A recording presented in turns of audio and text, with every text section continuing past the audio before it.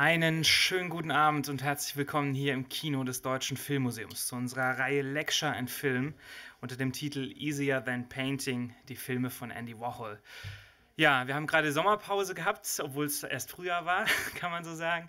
Ähm, das zweite Semester dieser Reihe beginnt und äh, wir freuen uns auch dieses Mal wieder ganz wunderbare Referenten gewonnen zu haben, was natürlich dank der wunderbaren Kooperation erst möglich geworden ist mit der Goethe-Universität. Ähm, drei der vier Organisatoren sind auch heute hier. Einer davon ist der Referent des heutigen Tages. Wir freuen uns sehr, dass das auch dieses Mal wieder so wunderbar geklappt hat. Also einfach auf den Plan achten, jeden zweiten Donnerstag im Durchschnitt Durchschnitt ist eine solche Veranstaltung. Und Lecture and Film für alle, die zum ersten Mal da sind, bedeutet bei uns, es gibt einen circa 50-minütigen Vortrag, dann gibt es eine kurze Pause, dann kommt der Film. Der Film stammt wirklich tatsächlich aus dem Museum of Modern Arts, ist auf 16 mm auf dem äh, Material, das Warhol auch benutzt hat und wir können das ja auch abspielen. Deswegen wundern Sie sich auch nachher nicht, es gibt eine kleine Pause beim Rollenwechsel, ähm, weil das Material nicht gekoppelt werden darf. Und da bleibt es dann kurz schwarz, also nicht irritiert sein, dann geht es weiter. Und ja, danach, nach diesem Film, gibt es dann eine Diskussion, wie immer. Da haben Sie die Möglichkeit, Fragen zu stellen, Kommentare abzugeben. Der Referent wird dann auch vorne sein und Vincent Zediger heute. Und da freuen wir uns sehr darauf. Ähm, dazu kommt, dass wir natürlich ein Begleitprogramm wie immer machen. Ähm, jeden Mittwoch und Samstag um 18 Uhr haben wir Filme für Sie ausgewählt, die sich dem Pop Begriff des Popkino, den es so eigentlich bisher vielleicht noch gar nicht gab, widmen sollen. Und in diesem Monat ähm, sind das alles Filme über Stars. Stars, die Warhol porträtiert hat. Ähm, ich mag schon mal, ich sag schon mal die drei, die schon rum sind. Das war Muhammad Ali mit When We Were Kings dann äh, Elizabeth Taylor mit Cleopatra und Grace Jones mit Wamp. Aber was noch bevorsteht, und das sollte man nicht verpassen, ähm, ein wirkliches Highlight, was selten auf der Leinwand zu sehen ist, Moonwalker mit Michael Jackson in der Hauptrolle gibt es am Samstag oder Mittwoch um 18 Uhr nochmal zu sehen. Ja, Genug der Vorworte an dieser Stelle. Ähm, es kommt noch ein organisatorisches Wort von Regine Prange, ehe dann Vinzenz Hediger den Referenten des heutigen Abends vorstellt. Ich wünsche Ihnen einen wunderbaren Abend. Viel Spaß.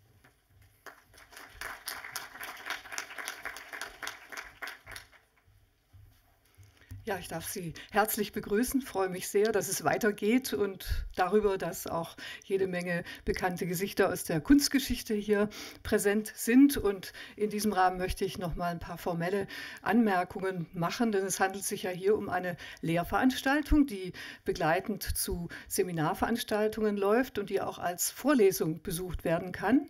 Also wenn Sie die Vorlesung äh, besuchen hier, äh, wäre es ganz gut, wenn Sie dann Ihre Kinotickets Tickets sammeln und dann sozusagen am Schluss vorlegen können und den Besuch der Vorlesung sozusagen nachweisen können. Für die Masterstudierenden, also solche unter Ihnen, die den Master Kunstgeschichte äh, studieren, äh, ist es ja so, dass sie die Vorlesung auch mit einem Na Leistungsnachweis äh, sozusagen absolvieren müssen, also eine kleine Prüfung äh, absolvieren. Und äh, dazu würde ich eben die äh, unter Ihnen bitten, mit mir Regine Prang ist mein Name, äh, Kontakt aufzunehmen, am besten per E-Mail, weil ich nämlich in diesem Semester äh, Forschungssemester wahrnehme und nicht äh, am Institut so häufig bin. Also nehmen Sie einfach Kontakt zu mir auf, dann werden wir ein solches Prüfungsgespräch zu einem Film oder einem Text Ihrer Wahl oder einem Vortrag Ihrer Wahl dann verabreden und äh, durchführen. Ähm, also das ist das Prozedere für dieses Semester. Auch die unter Ihnen jetzt kommt Henning Enke, Enke gerade, der die äh, teilnehmen an dem Seminar, das er durchführt. äh, den ist sozusagen auch ähm, sei gesagt, dass Sie doch äh, bitte die, die Tickets sammeln und das sozusagen als Nachweis äh, verwenden. Ich glaube, das war schon alles. Dann gebe ich jetzt das Wort an Vinzenz Hediger, der den heutigen Referenten vorstellen wird. Viel Spaß.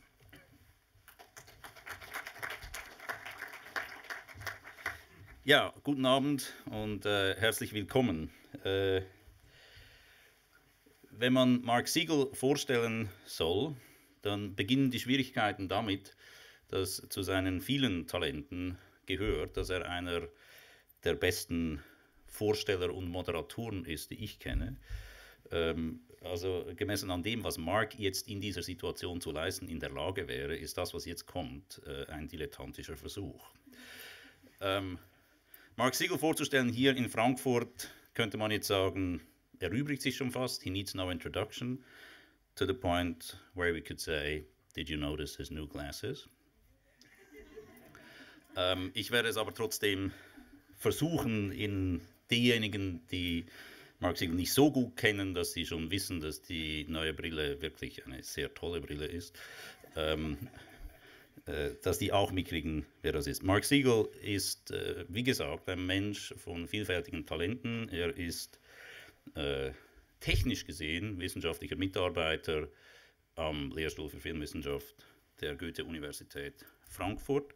Er war zuvor wissenschaftlicher Mitarbeiter in einem Forschungsprojekt ähm, im Sonderforschungsbereich äh, der FU Berlin über die, ähm, äh, wie heißt das nochmal, Ästhetik, was war das? Ah, Kulturen des Performativen, das war der andere SFB. Kulturen des, äh, des Performativen, wo er als äh, wissenschaftlicher Mitarbeiter gearbeitet hat.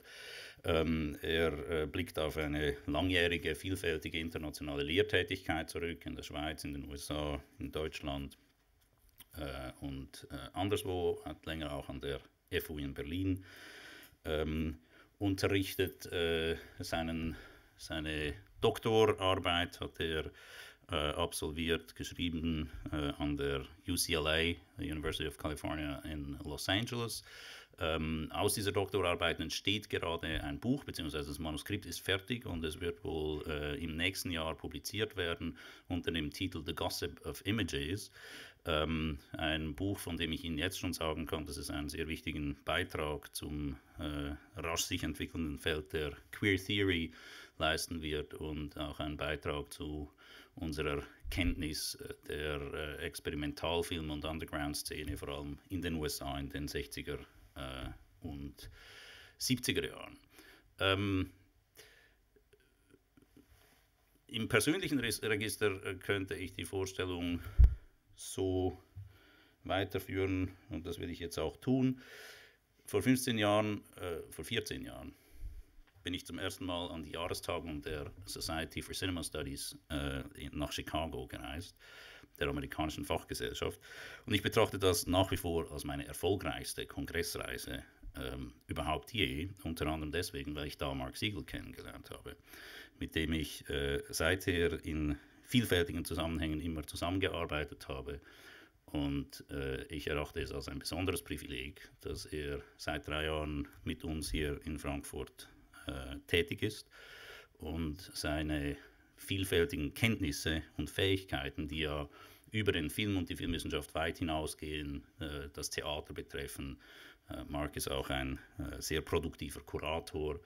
Ähm, er ist im, sowohl in der Wissenschaft als auch als Kurator einer der besten Kenner des Werks von Jack Smith und überhaupt des amerikanischen Underground-Films.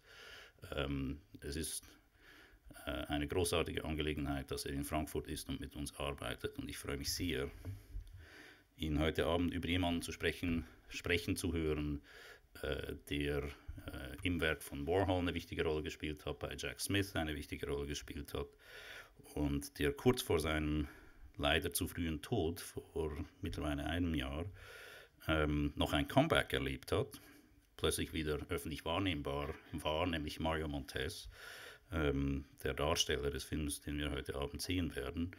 Und äh, dieses Comeback verdankt er auch Mark Siegel, der ihn nämlich aufgesucht und gefunden hat und ihn zurückgebracht hat ins Rampenlicht, wo er hingehört. Mark Siegel.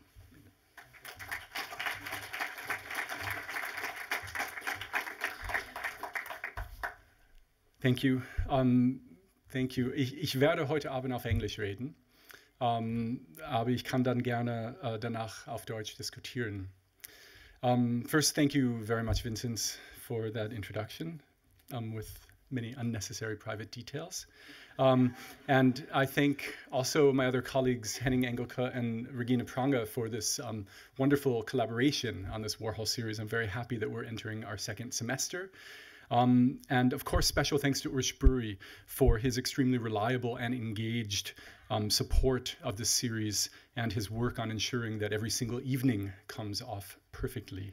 Um, of course, he does that with the help of his colleagues here in the Film Museum, the projectionists, and um, the other staff here. Thank you.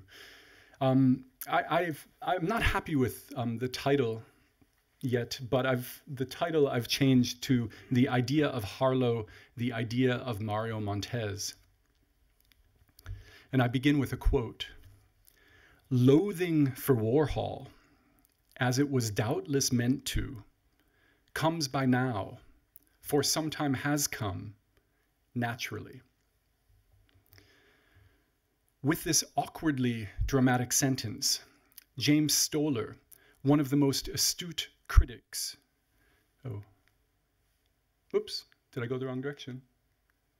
Nope, there we go. With this awkwardly dramatic sentence, James Stoller, one of the most astute critics of Warhol's cinema throughout the 1960s, opened a 1968 essay that addressed and attempted to redress the increasing widespread frustration over the artist's provocative films and public persona. Stoller refers to Warhol's outrageous waste of film and money in the context of an overwhelmingly poor underground film scene, and his seeming lack of moral and political concern, as evidenced by his interest in getting Edie Sedgwick onto the fashion pages, while everyone else, he says, was focused on American involvement in Vietnam. In terms of the films, he singles out their length, they all run too long, he says, uneventfulness, rudimentary technique, and most significantly, their frequent depiction of vulnerable, fragile personalities in humiliating situations, seemingly beyond their control. It is this final point that receives the most consideration in Stoller's essay because he sees in these complex and often troubling cinematic depictions of unpleasantly exposed performers one of the true innovations of Warhol's filmmaking. For Stoller, the on screen degradation suffered by some of the factory superstars, think for instance of Edie Sedgwick in Beauty Number Two and Poor Little Rich Girl, oops, or the performer's visible discomfort with the demeaning contrivances of the dramatic situation. Think of Mario Montez in Screen Test Number Two and the Chelsea Girls, or Marie Menken in The Life of Juanita Castro. Such moments, he argues, may test an audience's patience and compassion, but in doing so, they can also prod viewers into attending to the conditions of the film's own production. Quote, the carefully created ambiance provoking conditions which make it impossible for us to take the things as films alone. They presume to engage us in other ways. End quote. Stoller's essay, by the way, is titled Beyond Cinema. For Stoller, Warhol's films become uniquely interesting when viewers bring outside information about, for example, the lives, work, and sexual practices of the performers to bear on their reception of these sometimes disturbing on screen images. He concludes his article with the following claim The places where Warhol's art speaks in its own voice, which is consequently a voice worth listening to, are the places where film and gossip, which for so long have bolstered and helped sustain each other in secret, mingle openly and for the first time without shame.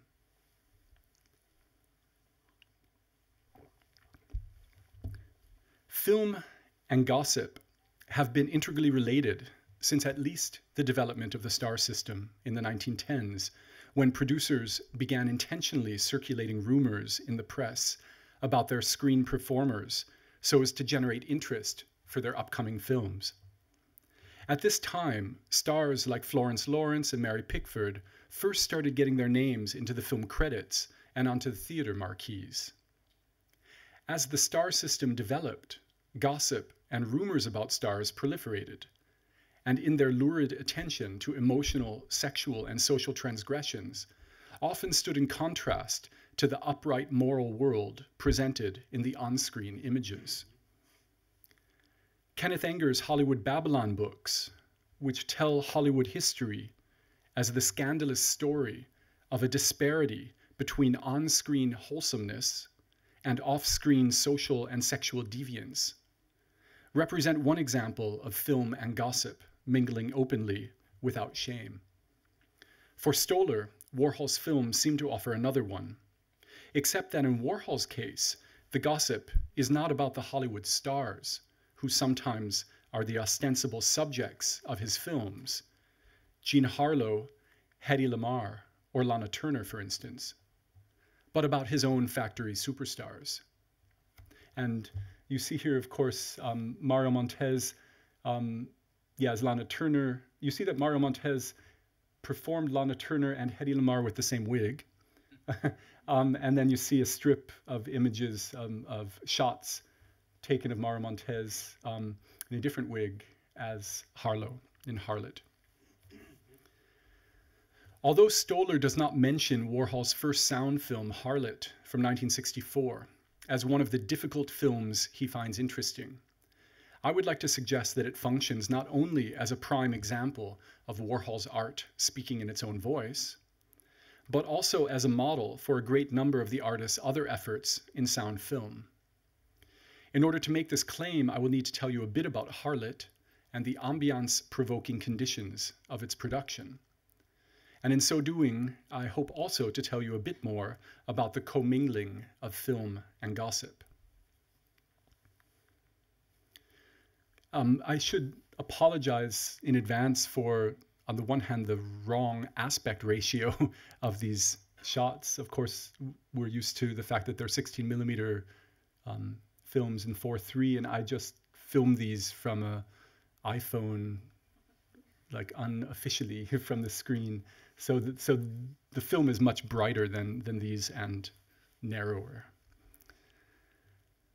Like many of Warhol's mid period films, Harlot consists of two 33 minute, unedited, black and white 16mm rolls. The film was shot on the Auricon camera, which recorded sync sound directly onto the film. And interestingly, uh, the film is known as Warhol's first sound film but I believe it is also perhaps the first sync sound film in the underground itself. The camera angle changes ever so slightly between the reels, but the film features none of the zooms, pans, and tilts that entered Warhol's later film vocabulary. Other than the addition of a soundtrack, the film exhibits many of the characteristics commonly associated with the artist's early minimalist silent films like Blowjob, Empire, and Henry Geldzahler. Namely, a single shot captured by a static camera on a tripod and subject to no post production editing. After about a year and a half of producing silent films, Warhol who had already used an Auricon sound camera to film the silent Empire and Henry Geldzahler in July of 1964, decided in November of that year that he would move into talkies and that he needed someone who could supply sounds, as he put it. As the story goes, poet and Warhol's assistant Gerard Malanga took the artist to the Le Metro coffee house, a staple of the downtown poetry scene, to hear Ronald Tavel reading from his then unpublished novel, Street of Stairs. A novel which um, I would recommend is also published now um, in two different, zwei verschiedene Übersetzungen auf Deutsch. Um, vor kurzem, vor zwei Jahren, kann man um, Straßen der Stufen von Ronald Tavel kaufen, Männerschwarm Verlag. Warhol was apparently impressed by both the sheer amount of Tavel's written work and by the quality of the writer's voice so he invited him to read on the soundtrack of his upcoming film, either from his novel, poetry, or, as Tavel recalled, maybe even the telephone directory. So it was obvious that Warhol was simply interested in sounds. When Tavel arrived at the factory on East 47th Street on December 13th for the shooting of Harlot, he was surprised to find out that Warhol had a new idea for the soundtrack and had asked him instead to carry on an improvised conversation with British poet Harry Fainlight and photographer and lighting designer Billy Linich, otherwise known as, as Billy Name, neither of whom Tavel knew well. For Tavel, this change of plan was one of Warhol's, quote, typical last minute turnabouts intended to dismantle a performance possibly prepared in advance, along with the fictions of a rehearsed performance.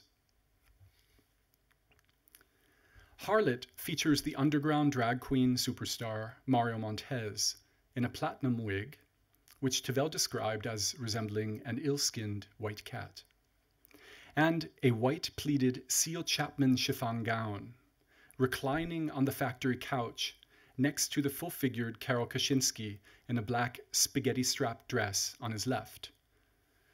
Just, by the way, I would point out that Montez wears the same dress and wig which Jack Smith gave him in Mario Banana 1 and 2, which were both likely shot on the same day as Harlot, as well as in his brief appearance in Warhol's earlier collaboration with Smith, Batman Dracula, which was Mario Montez's first appearance with Smith. And you can see Mario here um, and Jack Smith over here and a bunch of other people. um, on her lap, Koshinskie holds a white, fluffy Angora cat, played by Montez's own cat, Snowball, credited here as White Pussy. Gerard Malanga in a black suit and Philip Fagan in a black t shirt are perched behind the couch, Malanga behind, behind Montez, and Fagan behind Koshinskie. The couch itself is at a slight diagonal to the camera, angled from the bottom left of the frame towards the top right, so that the performers almost appear to occupy two parallel diagonal planes of action and focus. Malanga Montez in the front, Fagan Koshinskie White Pussy in the back. Fagan's right arm is bent, and rests on top of the couch while his left arm is propped against the sofa so that he can rest his head in his left hand. With little interruption, both he and Koshinskie maintain an intense stare into the camera for almost the entirety of the film, whereas Malanga, in the front plane of the image, primarily looks down onto Montez. You will see as the film begins, uh, Malanga is looking towards the camera for reasons um, uh, maybe we'll make clear in a second, but um, very quickly he moves into um, the position we, we see here. White Pussy, not surprisingly, fails to maintain focus throughout the almost 70 minute tableau vivant and frequently reacts to noises in the factory, looking off camera, somewhat in alignment with Malanga's stare. I don't have an image of that exactly, but at one point, White Pussy attempts to break free but Koshinskie manages to restrain her with a tight grip. A bright white light, and here we see, um, here she's back in position somewhat. A bright white light illuminates the tableau from above and off screen right and highlights the whiteness of Montez's dress and wig, Koshinskie's flesh, and White Pussy's fur, while relegating Fagan and Malanga to a kind of shadowy existence behind them. None of the performers speak. The dark seductiveness of Fagan's casual stare and the soft vulnerability of Koshinskie's studied attentiveness are sufficient to solicit our interest in watching this carefully, indeed magnificently composed portrait. For Tavel, Kash- quote, Koshinskie's real contribution to Harlot are the subtle, the thousand subtle, nearly escapable es- expressions that emanate from her still face. It is altogether possible to view the film by concentrating on her face alone, and to come away thus viewing with most of the flick under one's eye. That said, I still wouldn't recommend that strategy for your first viewing of the film. Look, look at Mario. Most of what can rightly be called screen action entails the execution of simple tasks predominantly, but not exclusively, performed by Montez. Namely, the slow peeling, filleting, and eating of bananas, discovered in various places, from his handbag to behind Koshinskie's back to beneath the couch's cushions. But there are other tasks as well. Malanga lights and smokes cigarettes and blows the smoke in Montez's face. Montez kisses Malanga. Malanga passes cigarettes to Fagan, who lets them fall to the ground. Koshinskie drinks from a can of beer. Fagan pours a cup of water on Koshinskie, who responds by pouring her can of beer on his head, etc. Koshinskie, Malanga, and Fagan fulfill these tasks as if following instructions. They don't seem to do so out of any concern with creating a believable character or contributing to the dramatics of an unusual situation. More on this in a second. The story of the film, if we can speak of one, is supplied by Montez, who performs with obvious relish the role of a glamorous, if somewhat risque, diva, with no other cares in the world than to seductively eat one banana after the other.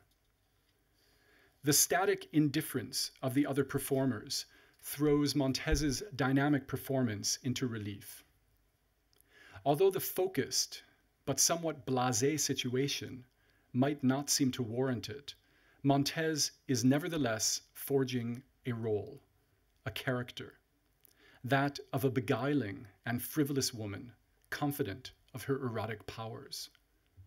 We sense his commitment to this character when he luxuriates in the discovery of yet another banana, or when he taunts Koshinskie with a banana that is reserved only for him or when he toys with an at first unresponsive Malanga, or when he simply holds a banana in his white evening gloved hands, contemplates it, flirts with it, and sizes it up with his eyes.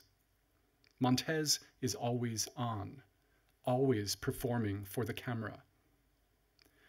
Filmmaker and performer in Warhol, Marie Menken, noted Warhol's most impressive star, Mario Montez, is a man he she played harlot in a blonde wig, and there were moments in that film that should ensure Andy's reputation as a remarkable artist, even if not as a movie maker.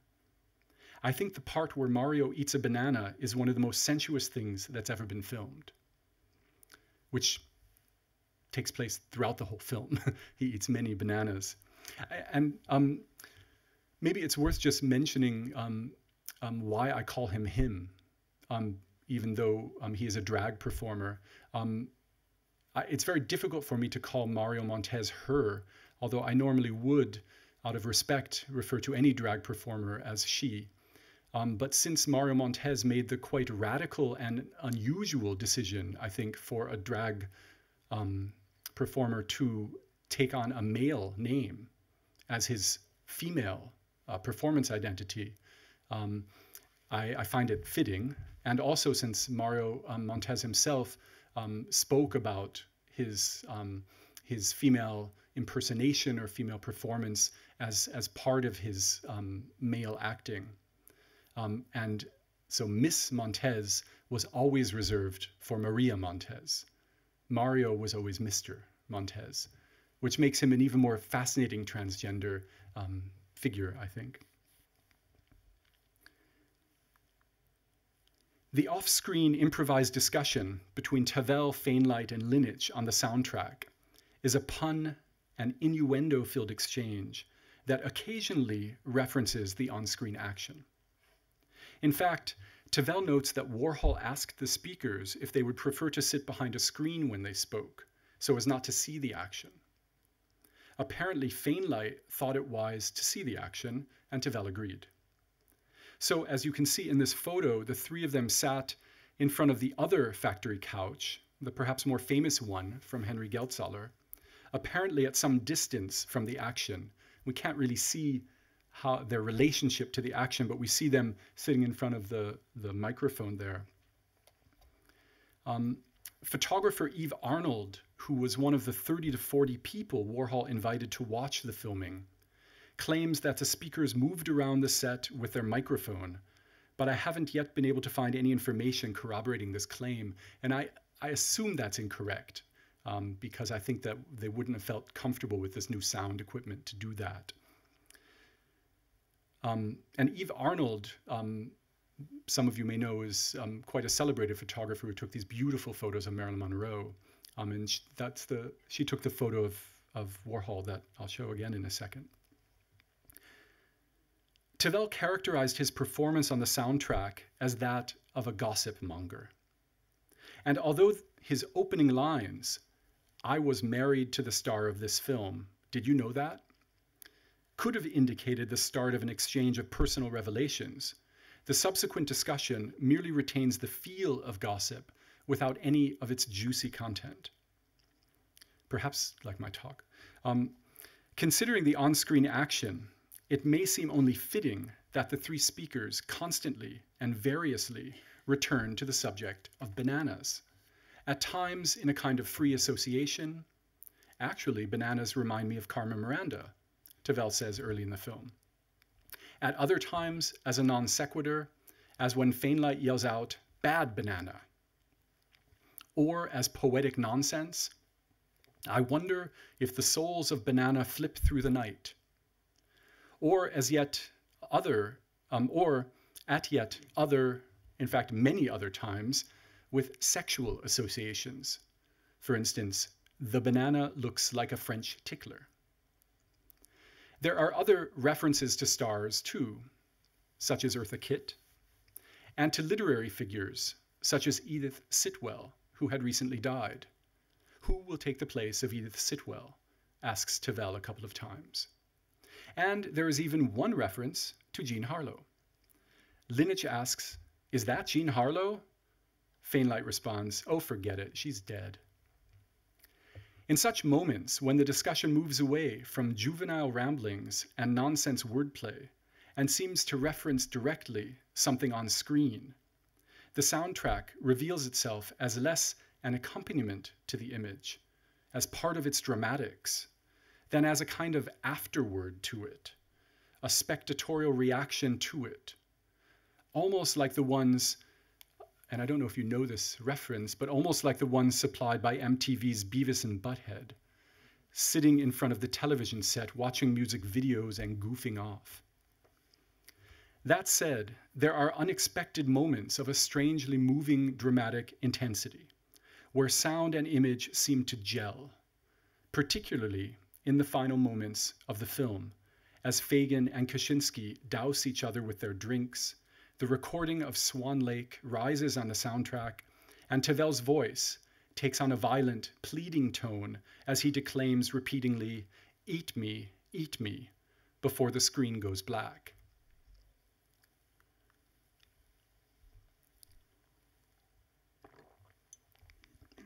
In addition to the recording of Swan Lake, which we also hear briefly at the start of the film. And I, I think, and we could talk about what we think the, the Swan Lake, and what role that plays, but I, Tavel just says it was a popular record in the factory at the time, but I don't, we could talk about that. It, in, particularly at the end, it really seems like, wow, they really are making a Hollywood film, finally. Um, but we'll see. So, in addition to the recording of Swan Lake, the soundtrack includes some chants ambient sounds that activate a lively off screen space and reference thereby the context of the film's production.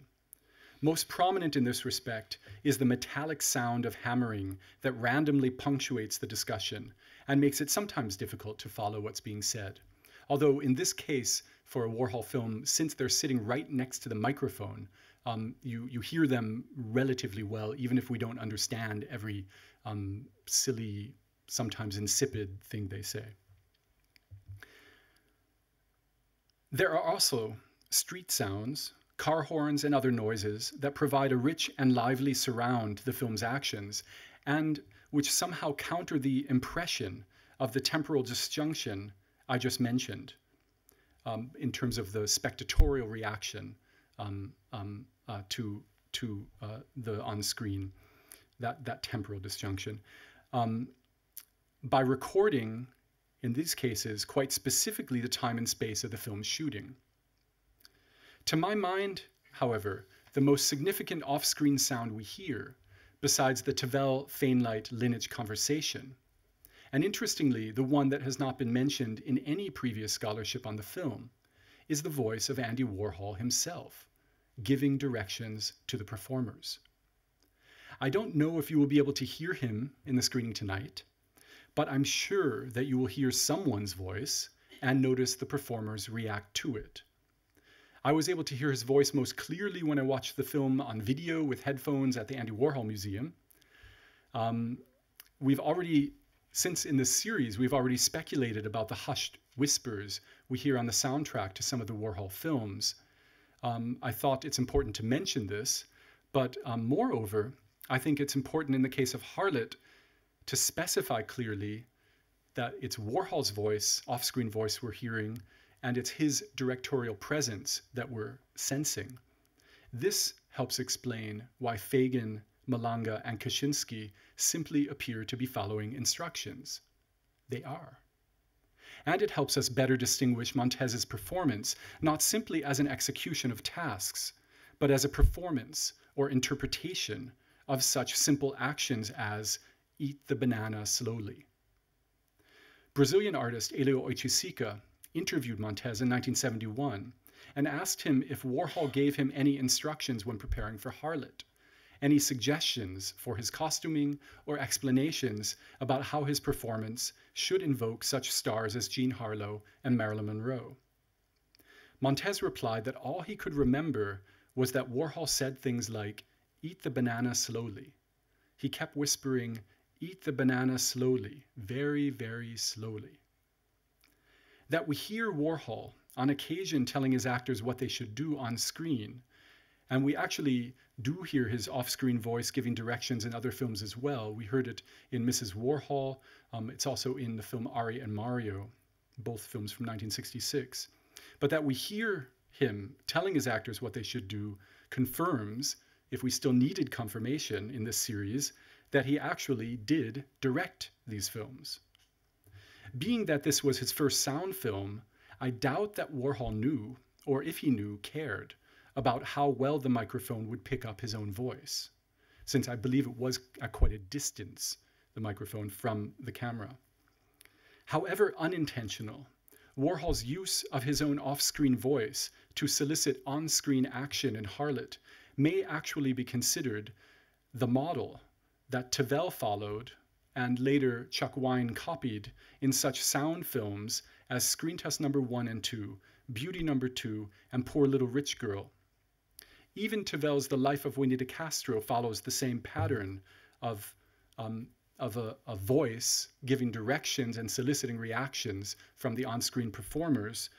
In the case of Juanita Castro, it places the directorial off screen voice on screen behind the performers, instructing them on how they are to behave.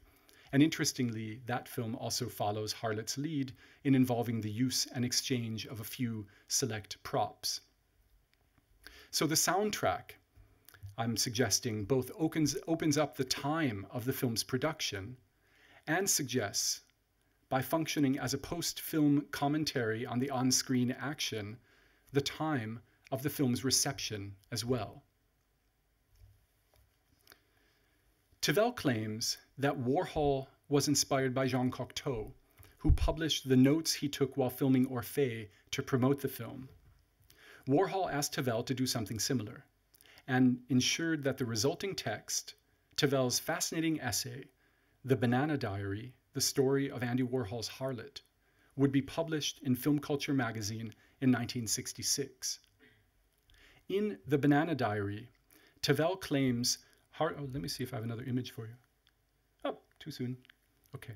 Um, in The Banana Diary, Tavel claims Harlot's importance not merely as Warhol's first sound film, but as the film that inaugurated the star system in the underground.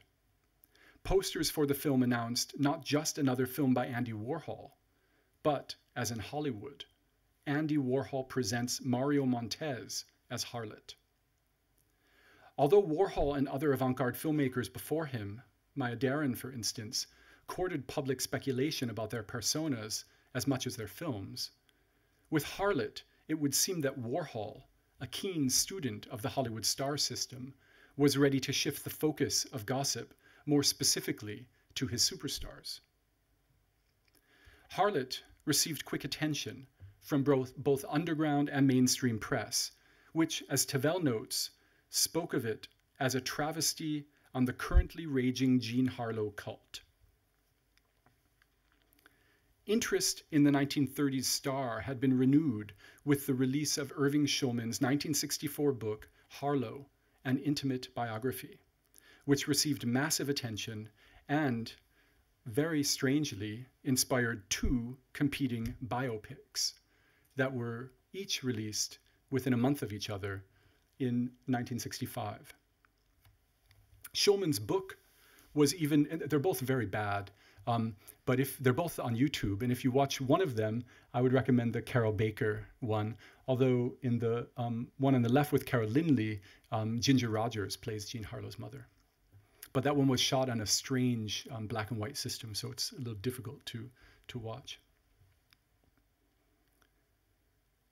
Shulman's book was even reviewed for film culture by underground star Taylor Mead, who confessed a gossipy epistemophilia in the opening lines. As a star, I'm interested in every detail of a star's life, however turgid, and Irving Shulman doesn't even fail to spare us the color of Jean Harlow's pubic hair. Good, we must know everything. Interestingly, Mead proceeds to criticize Shulman's scandalous use of such indiscreet details, not because of his tactlessness, but because he does not employ them to argue for the star's resistance to the uniformity of glamour production and the conventionality of acting in Hollywood. Mead claims that Shulman didn't understand that Harlow was not made already into a stock actress or a machine actress. She had not been sterilized of her own personality so that the lines coming from her came from a strange, individual, sexy root, Mead says. In addition to Mead's response, various other figures in the underground and the counterculture found themselves drawn to, drawn to Harlow around this time. And just a few other references um, to offer include the off off Broadway production of Tom Eyen's play The White Whore and the Bit Player, based on Harlow and Monroe, which premiered in August of 64 in New York. Harry Koutoukas's play Tidy Passions or Kill Kaleidoscope Kill an Epic Camp, which premiered in June of 1965 and featured an actor playing Harlow. And um, per perhaps um, most relevant in this respect is beat poet Michael McClure's play The Beard, which premiered in San Francisco in 1965, featured Harlow as a character, and which was later filmed by Warhol in 1966. And um, I included here this cover page of a book, The Films of Jean Harlow, which um, was released um, in 1965 as a means of countering the scandal um, of, of Shulman's uh, biography with some hardcore facts about her films. Um, yes. As we can see, Warhol's harlot intervened directly in then current public and counter public gossip about the scandalous and supposedly incriminating details of Harlow's private life that were set in motion in part by Shulman's speculative and highly questionable journalism. It seems that by 1967, Hollywood star worship and the figure of Harlow, I couldn't resist this image, um, that by, oh, sorry, I lost myself because of the image. Do you need some? Um, okay, it seems that by 1967, Hollywood star worship and the figure of Harlow herself was, was so associated with the underground that her name became the only prominent one donning a clothing ad for cricketer clothes in the Evergreen Review. Note the cat in the woman's hands. Um, and I should thank Henning Engelke actually for drawing my attention to this article, which is um, seems like it could be out of Mad Men. Um, if you can't read it here, the sort of the appropriate clothes to wear to underground films. Um, and then on the right side it says, "What to say during intermission? Andy Warhol is getting cold. Be-ins are better than happenings because you feel more a part of it." As Professor Marshall McLuhan says, media is the message. You don't know what all this means? Don't worry. Neither do the other people who are saying it. Just act like you do. Um, typical belittling uh, approach to the underground. For me, it's just simply interesting, of course, that that the only name we see um, big is um, Jean Harlow, and practically the only face, I think that is that Rudy Vallee, and then strangely enough, D.H. Lawrence in the background. Admin. Tavel claims that Warhol's intervention turned mass media, his intervention into this um, gossip, let's say, about Harlow, turned mass media into human meaningfulness. If, however, Warhol generated something humanly meaningful, something related to the defiant difference of Harlow's personality that so captivated Mead, he did so not by providing us with an explicit, accurate counter depiction of Harlow's lives and loves. Instead, Warhol employed details about Harlow's life to reveal something meaningful about the counterpublic differences in the world of his factory. As Tavel put it, Harlot circulates about the idea of Jean Harlow, the current, suddenly palpitating cult whose insignia is bestsellers, TV interviews that have undusted 30s forget me nots for defense and scandal. As I will argue in the closing pages, Harlot circles as well around the idea of Mario Montez, at least for me. There is hardly a narrative element or situation in Warhol's film that could be viewed as explicitly dramatizing an aspect of Jean Harlow's films or her life. Indeed, Harlot's fascination derives more from the way in which it departs from its ostensible subject. This is not to say that one cannot identify oblique references to Harlow's star text. Shulman's biography, I think I have, oh yeah. Shulman's biography, for example, details Harlow's many marriages, the supposed impotence of her husband, Paul Bern, her likely lesbian affairs, her drinking, and her sadomasochistic sexual tastes the affectionate closeness between Montez and his intimate couchmate Koshinskie might be read as hinting at the possibility of Harlow's lesbian affairs, while Malanga and Fagan can be seen as standing in for the star's many husbands. Most writing on the film referred to Koshinskie quite directly and unproblematically as Harlow's lesbian lover, and Malanga as her mafia boyfriend but I find this far fetched. Additionally, Fagan's repeated failed attempts late in the film to flip a cigarette, a cigarette into his mouth might be meant to suggest Paul Bern's alleged impotence. Such references to Harlow's star image are only confided, of course, to those truly in the know about the specificities of the star's life, as laid out by Shulman Specificities, however, that were au courant at the time of the film's production and initial screenings. So, in that sense, the film perhaps circulates in its time as a kind of gossip, if you will, if you if you want to take it as gossiping about about the Hollywood stars. Tavel describes Harlow's star image as that of a street smart, foul mouthed tart whose dynamism and unself consciousness in the pursuit of pleasure contrasted starkly with the troubled realities of the Great Depression.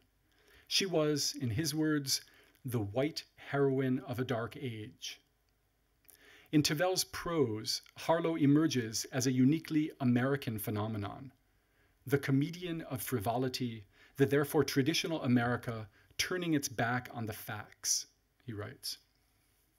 The writer and flaming wit Quentin Crisp observed, quote, in spite of her platinum hair, Harlow's appeal was not glamorous, still less exotic or mysterious. She was sexy in the coarsest way. End quote. In her embodiment of sexual possibility, her screen association with social transgression, and her seeming foregrounding of frivolity over the facts, Harlow, we might even say, is practically the personification of gossip. These scandalous aspects of her star image would have been enough to attract the interest of an underground film scene attempting to counter Hollywood's prudish visions. Indeed, the attention Harlow's purported non normative sexual behavior in the 20s and 30s received in the mid 1960s only served to strengthen the seductiveness of a star image whose erotic appeal was apparently unnoticed by the star herself. An essential part of the idea of Harlow was therefore the idea of a stimulating, seductive star image that arouses and relieves people from the bleak reality of their lives, but that nevertheless masks some bleak reality of its own. And we shouldn't forget, of course, that Harlow was a big star during the time of the Depression in the States. Um, for Tavel, however, this gulf between a lustrous star image and the bleak reality of a person's life reflects the ambivalent use of the individuals in Hollywood. In circling around the idea of Harlow, in expropriating and recirculating her image, the underground, according to Tavel, was in danger of recirculating as well the false promises and attendant shame incumbent upon the production of star images. The new American cinema, he writes in his inimitable and at times impenetrable prose, and here I quote at length from Tavel. So, the new American cinema, he writes, has a way of holding faith with Hollywood for all its savageness, a manner of burning off the superficial tinsel to touch the incredible essence of that body of belief in order to press it forward, in order to carry in triumph on shoulder height, in order to insist on its promise and perhaps foster its fulfillment. That the promise is the sham and its product, sheer horror, seems not to mitigate the naivete of the new American cinema. It is, yes, new, but it is still an American cinema. End quote. To briefly provide a gloss of what this might mean, I would say that that section of the new American cinema, which pulls inspiration from Hollywood, and we could think here of Jack Smith, Kenneth Anger, and Andy Warhol as the most famous examples. This section of the New American cinema does not believe in the coherence of the illusionist fantasy worlds depicted in Hollywood images, but in the power of an imaginative belief that ignites such lush, lush fantasy constructions. So the underground's own practices of belief their investment in cheap sets with a transformative and imaginative power. Enable it to expose and access Hollywood's own body of belief. In doing so, the underground expropriates the belief that drives Hollywood's image construction and uses it as motivation for its own less costly, less deceptively, and less superficially sparkling cultural productions. But what is the sham and sheer horror promised by Hollywood? I believe Tavel was thinking here about what is, for me at least, the most humanly meaningful aspect of Harlot, namely Mario Montez's conviction of his own seductive purposefulness in the midst of the film's, at times, seeming nonsense. Let me try to explain why I think this is so and also how Tavel's observations might bring us back to Stoller's perspective on Warhol's art as an example of film and gossip mingling openly without shame. Tavel clarifies the importance of Mario Montez's star quality as follows. Make no mistake about it, Mario Montez believes he is the queen of the silver screen. The entirety of Harlot rests on his belief and its success is supported almost solely by his extraordinary belief. There is deliciousness in his gestures that passeth understanding. his coy rising to and sinking against the back of the couch when Swan Lake suddenly swells up at the end of the film is a piece of intangible truth that bridges our deepest ganglia. End quote. Tavel loved the purple prose, as we say. Not surprisingly, Tavel sees in Mario Montez those qualities he ascribed in other essays to Mario's feminine namesake, his, Mario's, and Jack Smith's beloved Maria Montez, the actress from the Dominican Republic who rose to fame in the 1940s as star of fantasy and escapist films. These qualities, he saw, are belief in one's own beauty, the communication of intangible truths and images which exceed understanding but affect us deeply. I've written about this in my essay Jack Smith Glauben schenken, so I won't rehearse this argument here. Thanks to Mario Montez's performance, Warhol's, Arlet, Warhol's Harlot succeeds in offering a fascinating image of female eroticism, one that aspires to the glamour of Hollywood's silent stars, but one that admittedly falls short of convincingly embodying Jean Harlow. In Montez's belief in his own beauty and ability to produce a glamorous star image. Tavel sees both the strength of the underground and its potential for damage. He fears that what happened to thousands of other stars before him could happen to Montez as well, namely, that he might believe in the longevity of his star image and in the continued interest and goodwill of filmmakers and audiences. Tavel writes, the spokesman of the movement, in the movement he means the new American cinema, tell us they will evade the destruction Hollywood trades in, the use and exploitation of the human element, and the rapid using up of it and casting it aside.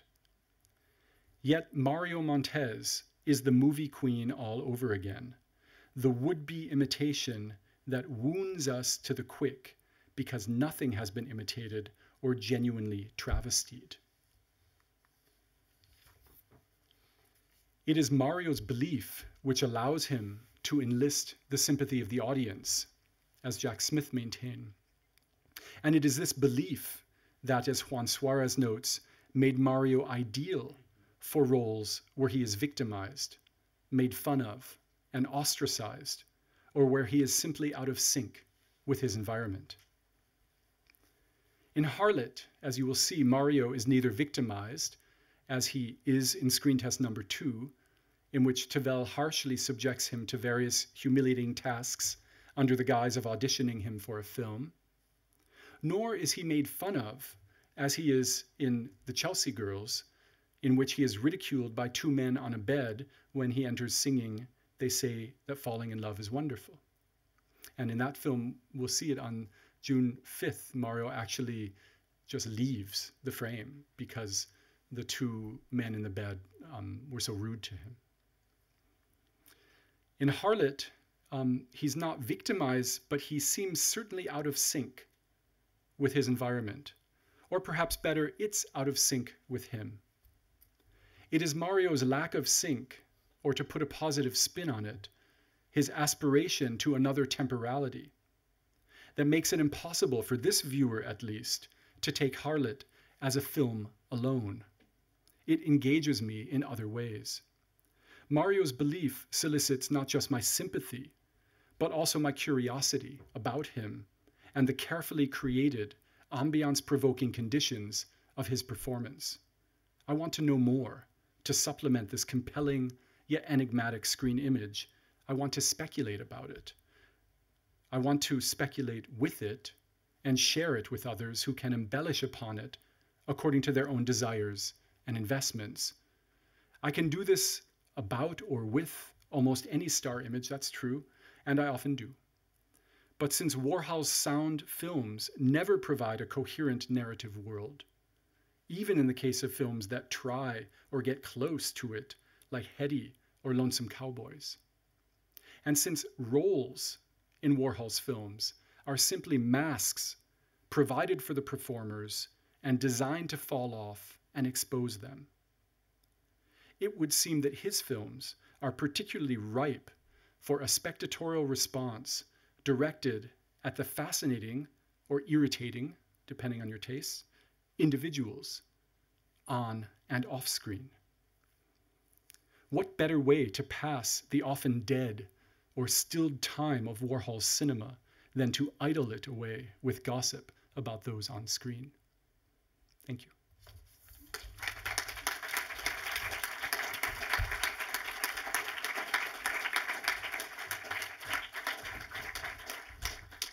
Ja, vielen Dank auch von unserer Seite für den tollen Vortrag. Wir machen jetzt fünf Minuten Pause. Das Filmcafé hat auch noch offen. Sie können sich also nochmal Getränke holen und ja.